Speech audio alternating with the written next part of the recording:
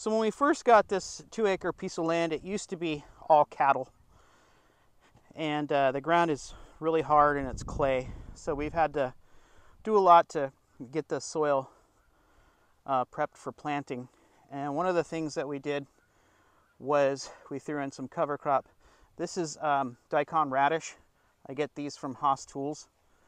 Um, and the radish grows really long and deep down into the ground, so it helps break up the soil.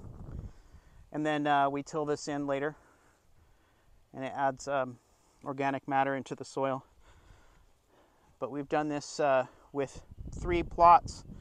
These two plots over here, this one and that one, had daikon radish in them, and then they got tilled in. But this daikon radish, not only is it a good cover crop, but it's something you can also eat. And I've got a neighbor that loves these and he's asked for some, so I'm gonna pick him some. That's a good one.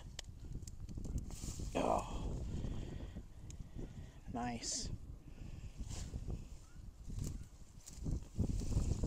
Small one.